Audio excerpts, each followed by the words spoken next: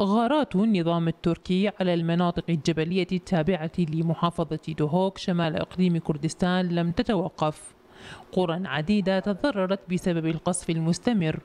ومع غياب الأمان شرعت العوائل في هذه المناطق إلى النزوح مما أثر سلبا على وضعهم الاقتصادي وظروفهم المعيشية إذ تركوا بساتينهم ومواشيهم هربا من الغارات التركية وبحثا عن ملاذ آمن لهم. قصف القوات التركية لهذه هذه المناطق وهذه القرى أدى إلى نزوح كثير من أهالي هذه القرى وتضخمت حول المدن مدن الكبيرة وهذا يؤدي إلى بطالة كبيرة في في المدن أيضا. نسبة الحياة من قصف التركي أمانة ماكو.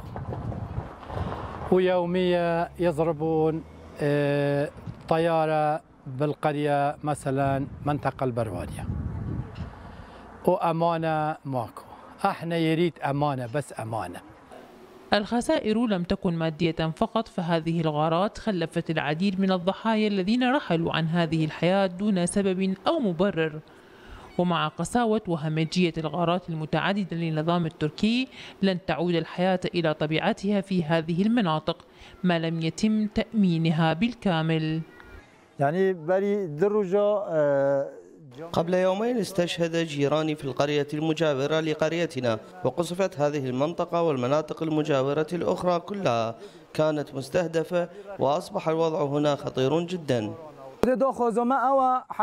نطالب الحكومة بالسيطرة على جميع المناطق الحدودية ومنع هذه الاعتداءات التي تضع حياتنا على المحك لأن الحياة هنا أصبحت صعبة والعديد من الأهالي غادروا قراهم هربا من القصف المتكرر.